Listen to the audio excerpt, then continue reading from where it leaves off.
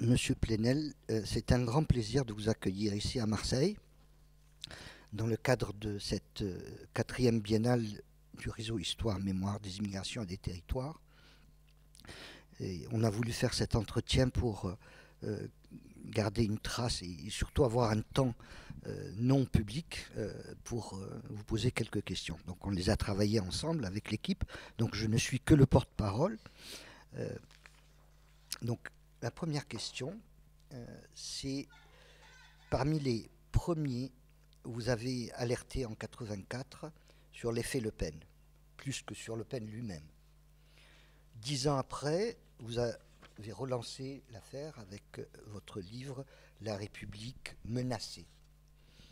Plus de 30 ans après, où en est-on Où en est l'effet Le Pen, notamment dans la classe politique française aujourd'hui? Merci, je suis très heureux d'être là avec vous et d'accompagner ce que vous faites. Euh, mais vous commencez par la question euh, la plus douloureuse. Euh, ça fait donc 1984, ça fait 33 ans.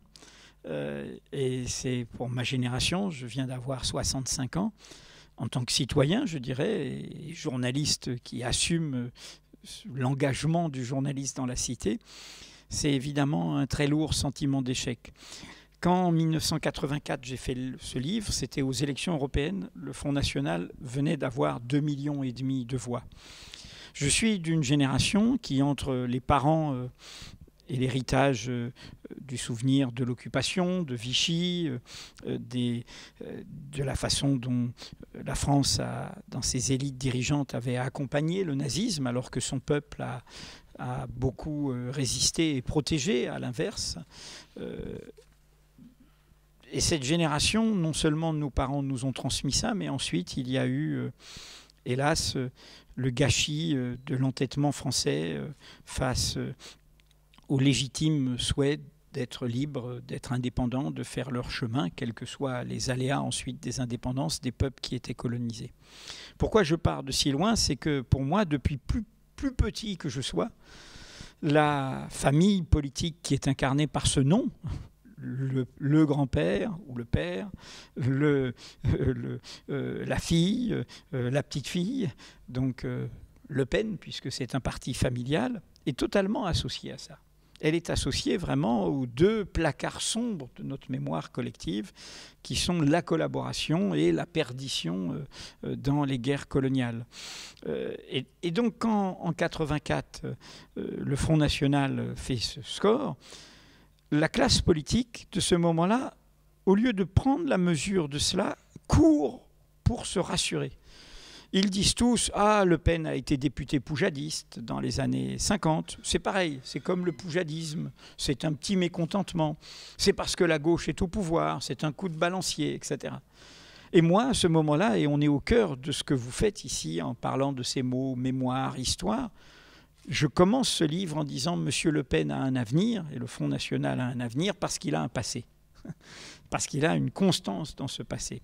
Et ce passé, euh, euh, si euh, les forces dites la droite républicaine, la gauche sociale, la droite démocratique, la gauche sociale, si ces forces ne comprennent pas que ce passé ne se combat pas par des tableaux Excel, ne se combat pas par des discours sécuritaire ou euh, économique, mais il suppose d'avoir un imaginaire en face.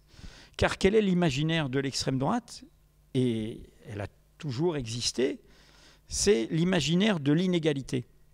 C'est l'idée que nous naissons inégaux, qu'il y a des civilisations supérieures à d'autres, des nations supérieures à d'autres, des religions supérieures à d'autres, des humanités supérieures à d'autres.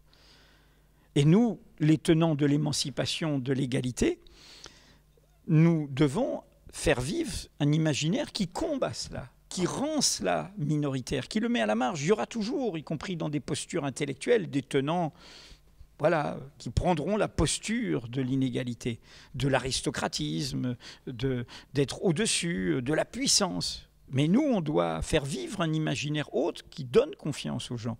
Et que s'est-il passé ces trois décennies, tant cette droite dite républicaine que cette gauche socialiste pour l'essentiel, au lieu de réussir à le faire vivre, en ont fait des mots creux parce qu'au même moment, ils faisaient la courte échelle à cet agenda-là. Ils le faisaient sur la question de l'identité nationale au singulier, racine unique, clause. Il le faisait quand il n'entendait pas, et c'est parti de Marseille, cet appel de la jeunesse issue de, de, nos quartiers et du tout monde qui a fait la richesse de la France, qui fait une marche pour dire nous sommes des citoyens. Nous sommes des citoyens et nous faisons une marche pour l'égalité et contre le racisme. C'est le mot. Et comment on l'appelle? La marche des beurs. On les renvoie à une identité. On les ethnicise. On les renvoie comme si on les renvoyait dans leur douar et, dans leur, et dans quartier fermé. Et donc voilà, euh, depuis, je n'ai cessé de répéter cette chose que euh, entre dire non, dire nous, euh, pour les musulmans qui auraient pu s'appeler contre la haine, j'ai essayé de faire vivre cela. Et je crois que c'est vraiment ce dont notre pays a besoin. Je pense que le peuple de ce pays y est totalement prêt. Je me promène beaucoup, comme ce soir ici à Marseille.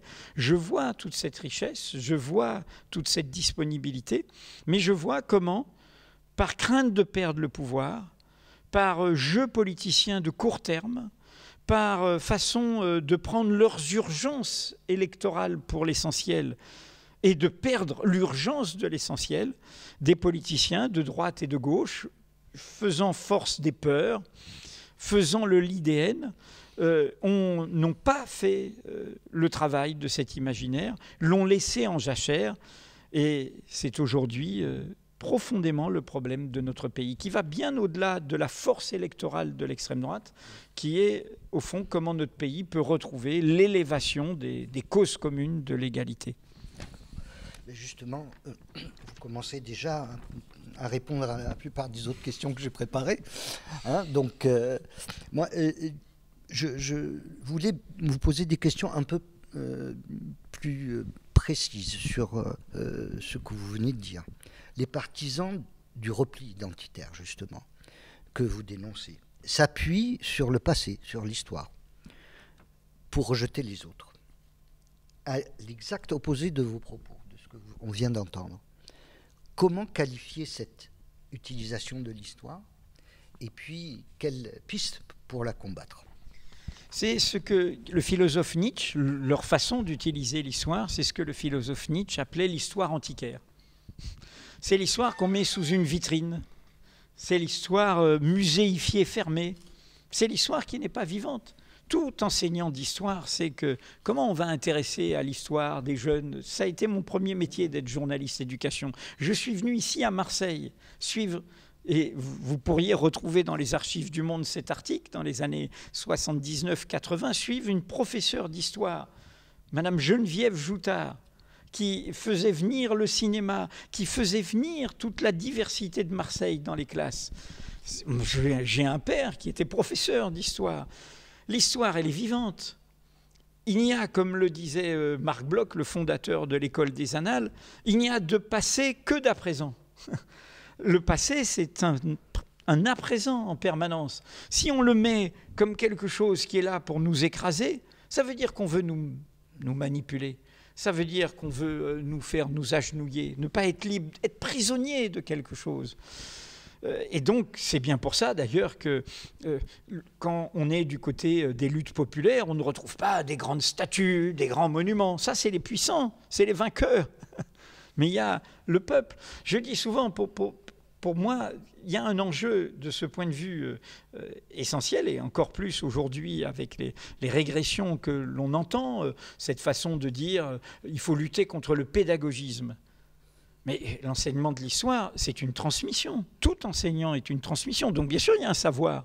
Mais s'il y a un savoir, sans se poser la question de comment on le transmet, comment on le fait comprendre, c'est-à-dire la question pédagogique, mais c'est un savoir mort, c'est un savoir disciplinaire, vertical, que je vais annoncer comme si euh, j'étais au catéchisme ou, ou, euh, ou euh, à l'école coranique, je dis pour tout le monde. Ouais. Voilà, comme ça tout le monde en, en aura. Voilà. Eh ben non, c'est un, un, savoir vivant qu'on va faire vivre et, et, et qu'on va transmettre comme ça, parce qu'il est là, il est en nous. Quand je raconte souvent ma propre histoire pour faire comprendre d'où je parle. Je dis en rigolant, je suis un breton d'outre-mer, euh, j'ai grandi dans la créolisation de la Martinique, euh, euh, un monde du, métissage, un monde du vaudou, on appelle ça le quimbois, des cultes animistes, même si la majorité était catholique. Après, j'ai découvert l'Algérie avec ben, un islam tout à fait ouvert que je fréquentais avec mes, camarades de classe. quelques années après l'indépendance, j'ai campé, j'ai fait du stop, j'ai sillonné l'Algérie euh, de droite, à, enfin du nord au sud, d'est en ouest, avec, euh, avec une très grande euh, liberté. Et puis en même temps, bon, bah, j'ai eu un père catholique qui a abandonné le catholicisme, une mère protestante, j'ai une compagne qui est issue de l'immigration juive d'Europe centrale. Je suis fait de tout ça.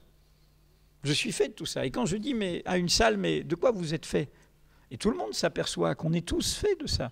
Et donc, nous sommes faits de toutes ces histoires de chemin. L'humanité n'est pas assignée à résidence. J'expliquerai ça ce soir. Pour moi, c'est une question essentielle. Tout ce qui nous a fait ce que nous sommes, nos libertés, nos droits, nos espoirs, etc., c'est un mouvement, c'est un déplacement. Et ceux qui veulent figer l'histoire, ils veulent nous rendre immobiles. Et nous rendre immobiles, c'est pas seulement nous fixer à une identité, c'est être immobile, reste là où tu es ne te bats plus. Tu es né là, tu restes là. Tu es enfermé dans ta condition. Et nous, nous sommes du côté de, ce mouvement et qui est celui de, cette histoire vivante. Je termine par un autre exemple. Je ne sais pas si je l'ai dit un jour à la maire de Paris, elle ne le savait pas. Et je, sais, vois maintenant qu'il y a un aménagement prévu, euh, prévu euh, de la place de la Bastille. Donc peut-être euh, ce que j'ai dit a fait son chemin. Quand on passe place de la Bastille à Paris, les gens ils, voient une colonne. Bon, ils entendent Bastille, Révolution française, la grande prison, qui est devenue une carrière. Ils, se trompent. La colonne, c'est la colonne de juillet. Les Trois Glorieuses. Le tableau de Delacroix. Hein voilà. Et les, les Trois Glorieuses de juillet 1830, c'est le quartier populaire de Paris, le faubourg Saint-Antoine, là où sont les bureaux de Mediapart, qui est quartier un peu bobo maintenant, mais vraiment le quartier du peuple. Et c'est des ouvriers qui se révoltent. Pourquoi? Pas pour leur salaire, pour des droits fondamentaux, pour des idéaux. À une époque où pour beaucoup euh, c'est la restauration, ils n'ont pas le droit de vote, ils n'ont pas. Ils se révoltent sur la liberté de la presse. C'est-à-dire, ces ouvriers, ces artisans disent attendez, c'est pas pas un luxe, hein. on a besoin de savoir. Et ils sont 500 au pied de cette colonne. Il y a une crypte je l'ai appris par hasard dans les combats pour la liberté de la presse. Et je m'apercevais que la maire de Paris elle-même ne le savait pas. Il y a une crypte avec les 500 dépouilles de ceux qui sont morts pour la liberté de la presse. Alors qu'est-ce qu'il faut qu'on fasse? Il faut qu'on fasse vivre et ça, ça se joue dans les villes, ça se joue dans des inventions qui ne sont pas justement les musées fermés. Et il y a beaucoup d'expériences maintenant dans les villes, y compris dans ce, rapport à la mémoire vivante, y compris sur des très grands drames historiques. À Berlin, ils ont su faire ça de manière très, très concrète, hein, de montrer tel immeuble. Vous voyez, ben là, il y avait des gens, ils étaient là, ils ont été arrêtés, ils ont été déportés. Ben, il y a un petit truc sur le trottoir qui le rappelle. Et ils sont morts parce qu'ils étaient nés juifs. voilà, et, ils sont été victimes du crime contre l'humanité. Et donc faire vivre cela, euh, pour moi, très concrètement, ce que j'appelle dans, ce livre, la Voyage en terre d'espoir, euh, la victoire des vaincus. Alors c'est pour dire quoi? C'est pour dire qu'il y a plein de gens dont nous sommes les héritiers qui n'ont pas vu leur conquête. Mais c'est grâce à eux que nous avons continué. C'est grâce à eux que nous avons eu de nouveaux droits. Euh, et, quand je dis vaincus, ils ne sont pas vaincus au sens euh, une défaite misérable. Au contraire, c'est eux les victorieux, parce que leurs vainqueurs, eh ben, bah, ceux qui ont tué Jaurès, ceux qui ont armé le bras de l'assassin, bah, aujourd'hui, c'est pas lui qui est le, le vainqueur, c'est Jaurès aujourd'hui.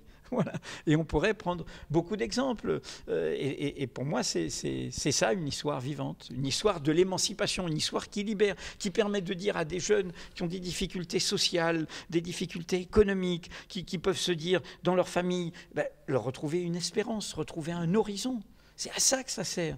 Autrement, on va leur dire pas d'espérance, pas d'horizon. Ben, ils vont en chercher ailleurs.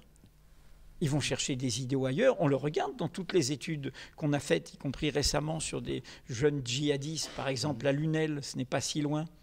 Ben, ces jeunes, ben, ils cherchent une espérance, elle deviendra une espérance de perdition, ils épouseront une idéologie totalitaire, mais nous, nous devons Voilà. Autrement, si on les renvoie à leurs conditions. Ben, vous avez euh, magnifiquement mm, écrit tout ça en, deux étapes. Vous parlez de manifeste. Dire non et dire nous. Euh, pour nous, c'est des, phares. Mais justement, euh, moi, se pose une question à moi comment articuler entre le dire non et dire nous? Parce qu'automatiquement, on dit non à des gens. Et, voilà, comment vous l'articulez? Je suis d'accord, c'est la difficulté. Je ne suis pas sûr, euh, on, a le droit d'être insatisfait dans ses propres livres, d'y avoir suffisamment répondu dans, Dire nous. Car il y a évidemment des nous d'exclusion, il y a des nous de clôture, de fermeture, et il y a euh, aussi euh, des noms euh, qui sont des noms qui ne rassemblent pas, qui sont des noms qui ferment, qui excluent. Donc ni le mot non en soi, ni le mot nous en soi ne sont, ne sont, ne sont des biens en soi. Donc qu'est-ce que j'ai voulu dire? J'ai voulu dire que il y a d'abord sur le chemin de ce mot que j'apprécie, qui est le chemin de l'émancipation, le moteur de l'égalité, l'égalité des droits sans distinction d'origine, de naissance, de sexe, de croyance, d'apparence. Il y a d'abord cette idée d'un peu d'être indigné, de ne pas se satisfaire des choses telles qu'elles sont, euh, de, vouloir qu'elles changent, de, de, ne pas être dans une sorte de confort comme ça. Et de cette indignation, pour qu'elle ne se nécrose pas, pour qu'elle ne se replie pas, il faut qu'elle l'emprunte, ce que je mets derrière le mot nous, ce que j'appelle le chemin des causes communes. C'est-à-dire se dire que ce qui me, me soulève n'est pas indifférent à ce qui soulèvera un autre. Moi, c'est mon salaire ou mes conditions de travail. Lui ou elle, c'est les discriminations liées à son origine. Tel autre, c'est euh, le rapport euh, de domination masculine euh, dans notre société sur les femmes. Tel autre, c'est les droits de personnes à avoir la sexualité qu'elles désirent. Je pourrais multiplier cela. Ce que dans les débats américains, quelqu'un comme Angela Davis a très bien porté en, en, ne cédant jamais sur les principes, c'est-à-dire qu'en n'étant jamais dans l'idée, y compris du côté de la cause noire, que la cause noire serait une cause qui exclut. Mais chacun fait son chemin. Chacun fait son chemin et chacun on fait lien. C'est-à-dire que pour moi, je crois vraiment que, l'émancipation se joue dans le rapport à la cause de l'autre, tout autant que dans le rapport à sa propre cause. Et là, souvent, mes adversaires me moquent en disant que je prêche souvent, comme euh, bon, mais je pense, et ça, je crois que ce sont des très très vieilles sagesses, aussi bien de, philosophie que, de croyances euh, des monothéismes ou de l'humanisme euh, laïque, qui est que le meilleur chemin pour le prochain, pour ce qui est le plus proche, c'est le lointain. Et que si je ne suis pas au rendez-vous du lointain, de l'étranger, du différent, du plus malheureux, euh, de l'autre, dans toutes ces variantes, eh bien, je ne saurais pas être au rendez-vous de moi-même.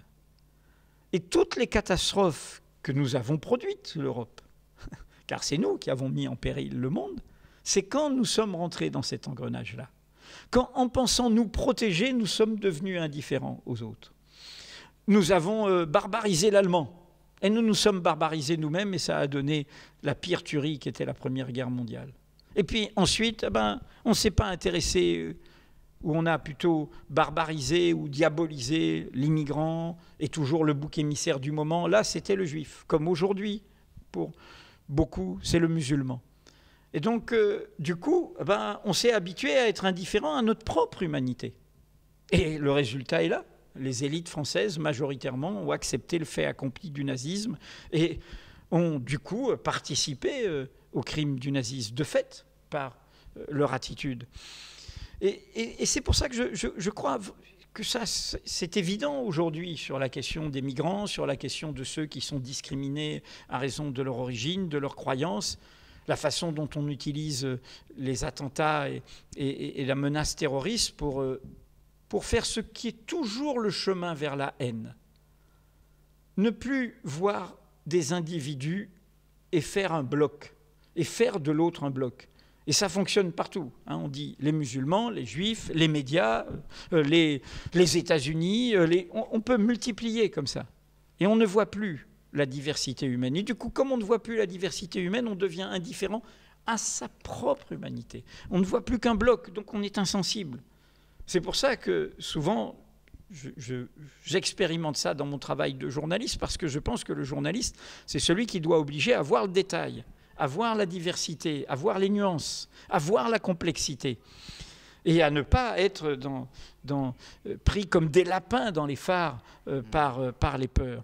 C'est pour ça que je m'étais dressé quand j'ai vu cette histoire de ministère. Quand notre pays a produit un ministère de l'immigration et de l'identité nationale au singulier, avec même l'ordre en 2010 de faire des débats dans les préfectures sur l'identité nationale. J'ai fait à ce moment-là cet appel qui a été signé de Dominique de Villepin à Olivier Besancenot, c'était large. Nous ne débattrons pas. Je suis pour le débat, mais on ne va pas débattre sur ordre et on ne va pas débattre d'une thématique qui est la thématique qui va, qui d'une part ne correspond pas à ce que nous sommes. Il n'y a pas d'identité à racine unique. Il n'y a d'identité que de relation. Nous sommes faits euh, comme une plante, du lien au terreau, les radicelles, euh, euh, les, rhizomes, tout ça nous nourrit. Une plante est nourrie d'autres plantes. Et donc voilà, ma réponse sur comment, comment jouer entre ce, ce, ce, non et ce nous. Je dirais qu'elle est, elle est en fait dans le livre qui fait trait d'union et qui m'a valu autant d'amis que d'ennemis qui s'appelle pour les musulmans, qui paraît entre les deux, qui est comme un exercice pratique, hein, qui est voilà, hein, et que j'ai volontairement appelé pour les musulmans. J'aurais pu l'appeler pour l'égalité, contre la haine. Bon, ça mangeait pas de pain, mais c'était façon de dire. Justement, je, refuse, je refuse, je suis du côté, et, sous d'autres latitudes, je serai de l'autre côté d'autres minorités.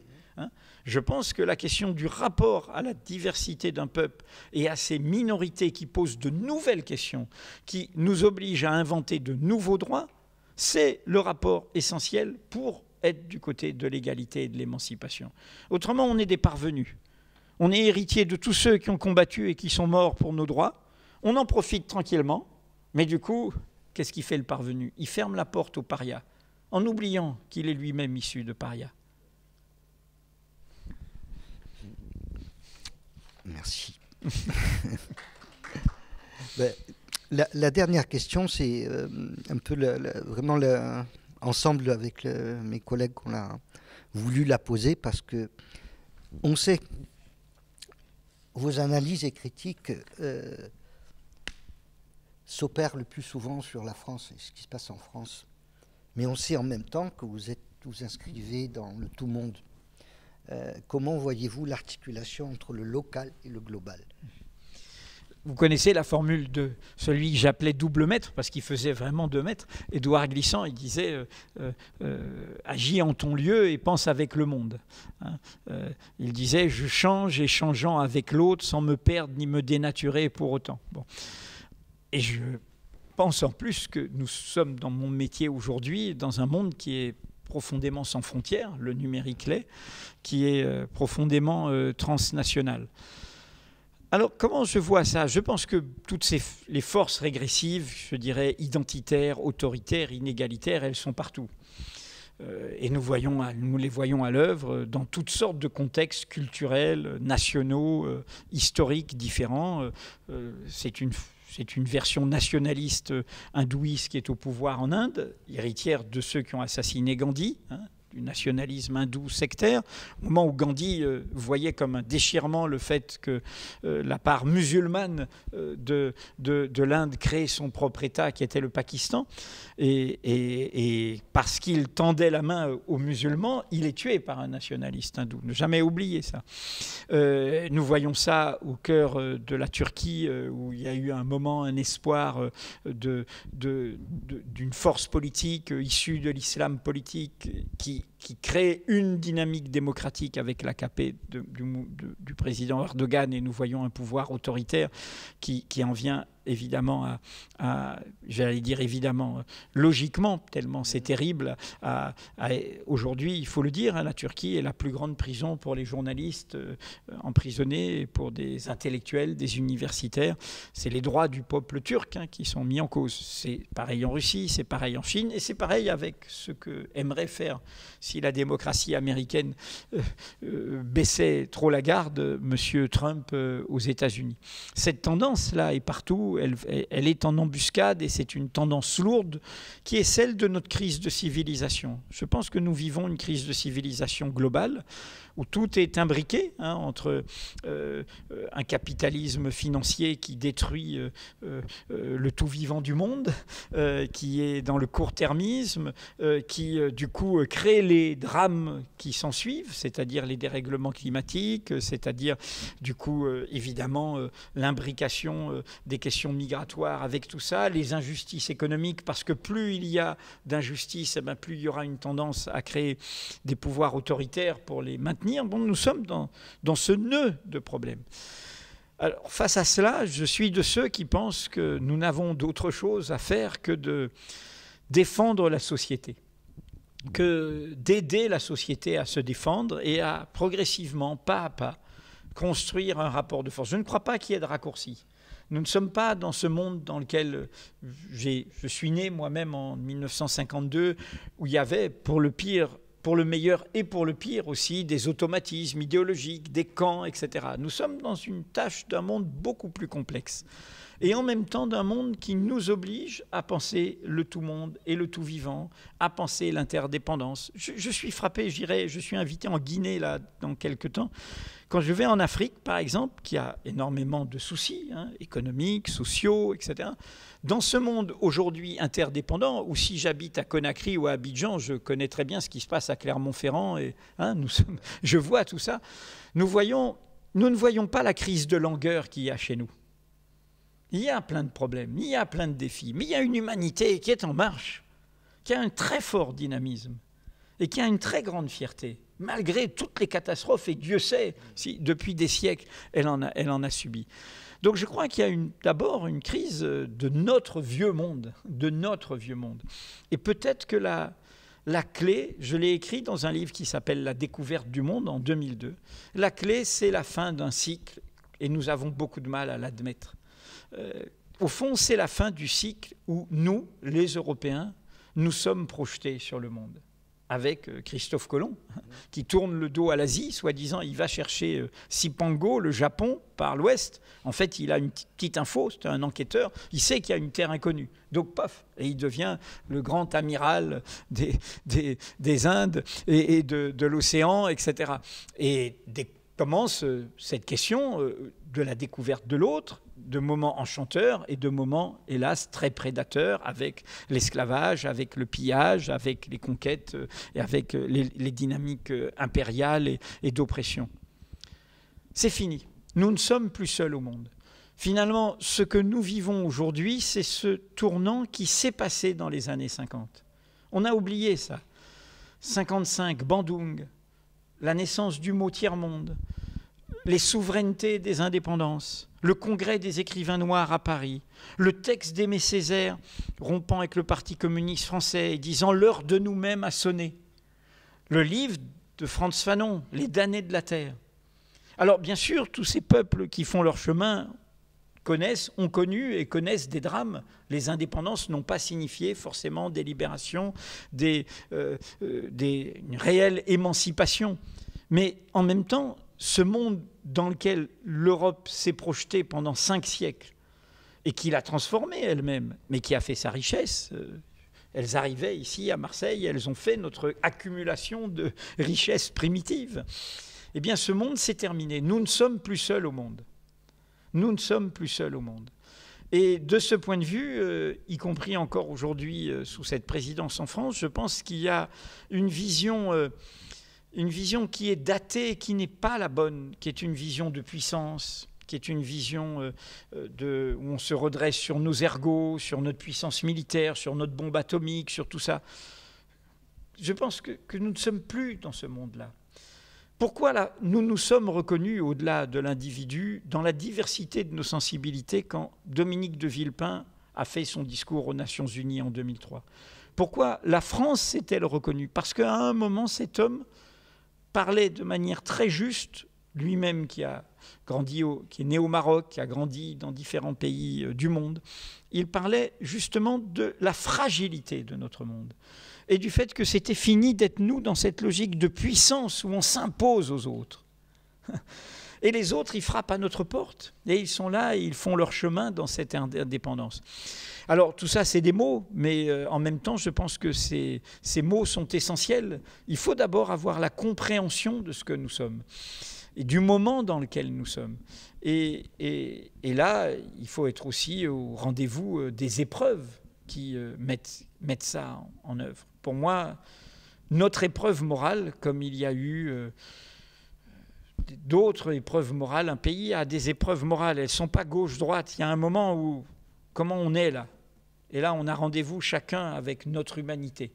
Comme dit le, président de SOS Méditerranée, ceux qui ont le bateau l'Aquarius, qui, sauve des gens en Méditerranée, il dit à un moment, il parle comme un marin, il dit, nous on est des marins, vous savez, quand quelqu'un se noie, bah, c'est très simple, on le sauve. On ne lui demande pas d'où il vient, on ne lui demande pas s'il a des papiers d'identité, on ne lui demande pas s'il est un migrant économique ou un exilé politique, on le sauve. C'est la morale du marin. Et là, sur le même ton, un peu cash, il dit, bon, bah nous, qu'est-ce qu'on fait? On sauve notre âme, on sauve l'âme de l'Europe. Et je pense que nous sommes sur cette question-là, de ce que je viens de dire. Quel est notre rapport au monde? Ce qui se passe depuis quelques années sur ce qu'on appelle cette crise migratoire, ce n'est pas une crise migratoire, c'est la crise de nous-mêmes. Une humanité frappe à notre porte. Et elle frappe légitimement à notre porte dans une imbrication de tout ce qu'elle fuit, des dénis démocratiques, des injustices économiques, des dérèglements climatiques et des désordres guerriers pensés à la Syrie. Elle frappe à notre porte. Elle veut simplement être digne. Ce mot qui a été rajouté dans la Déclaration universelle des droits de l'homme, nous, naissons libres et égaux en droit, comme le disait celle de 1789, et en 1848, on a rajouté et en dignité. Et en dignité. Et dans cette déclaration, il y a le droit de quitter son pays. Il y a le droit d'aller dans un autre pays. Il y a le droit de bouger. Il y a le droit de se dire, mais je veux un avenir meilleur. Il y a un héroïsme du migrant. Il y a un héroïsme du réfugié, de l'exilé. Regardez tout ce qu'ils ont traversé, tout ce qu'ils ont subi, tout ce qu'ils ont vécu pour justement avoir une vie meilleure. Et nous le savons dans plein d'histoires de nos familles. Nous l'avons vécu. Nous savons combien il y a eu des douleurs muettes de ceux qui ont eu cet héroïsme-là. Et là, nous ne sommes pas au rendez-vous. Combien de monde dans les rues sur cette question par rapport à l'égoïsme de nos dirigeants? Il y avait au début Mare Nostrum, c'était les Italiens, on sauvait des gens. L'armée italienne était fière de sauver des gens. Et l'Europe lui a dit non, on arrête on fait Frontex. On sauve plus, on se ferme. Et puis maintenant, on criminalise. On criminalise les ONG, c'est des procès qui ont lieu en Italie, et on criminalise ici ce mot qu'on enseigne à l'école, le mot de solidarité. Dans l'instruction morale et civique, au collège, au lycée, à l'école, il y a l'enseignement de la solidarité. C'est le cinquième mot après liberté, égalité, fraternité, laïcité, il y a solidarité. Et là, on condamne des gens le plus emblématique est Cédric Hiroux, de la vallée de la Roya, parce qu'ils ont fait ce simple geste d'humanité. Tu as besoin d'un toit, tu as besoin de nourriture, d'eau, qui est au cœur de, vraiment de, des valeurs essentielles. Et si nous ne sommes pas, et pour l'instant nous n'y sommes pas, donc je suis plutôt pessimiste et inquiet pour le futur, un pays l'a été. Et on voit bien que ce n'est pas fatal. Elle en paye le prix politique, on le voit dans les urnes, mais ce n'est pas ça la clé, selon beaucoup d'observateurs allemands, ce n'est pas ça qui fait la progression de l'extrême droite. Mais Mme Merkel a su dire à son pays, et ça, c'est là où on voit que ce n'est pas une question de gauche et de droite. Elle a dit on doit le faire, on doit le faire. Et la société a été rendez-vous. Un million de personnes ont été acceptées. Les gens dont on parle, un, démographe a fait cela, de ceux dont nous parlons ces migrants-là. C'est deux personnes dans le stade de France par rapport à notre population.